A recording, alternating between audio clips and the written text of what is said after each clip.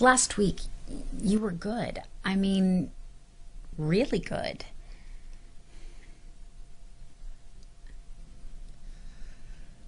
I'm not really over my last girlfriend.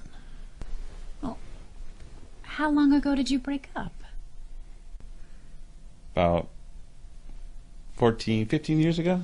15 years? You, I don't know who Charles Roycroft is. Then who's been putting $500 in your bank account? Every month for the last year. What bank account? The one I have all the records for. Right here. Oh, you mean Charlie? Yes, Uncle Charlie had been paying for my school. Right. Why no deposit this month?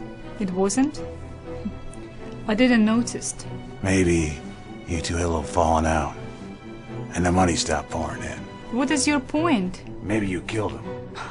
He killed himself.